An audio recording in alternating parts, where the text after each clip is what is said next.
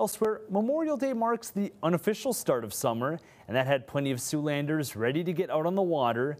But in Dallas County in central Iowa, a fun day on the river turned into a close call.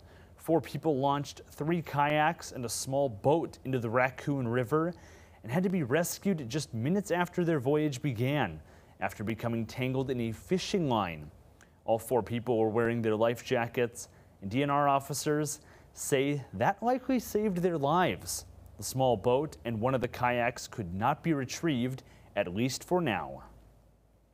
Uh, we're not going to put any emergency personnel at risk today. Trying to recover those items, we'll recover those when we can. But we are uh, fortunate that we have four individuals that made it back safely here to shore. Um, kind of ended their day in a not so good way, but we are glad that they had the life jackets on.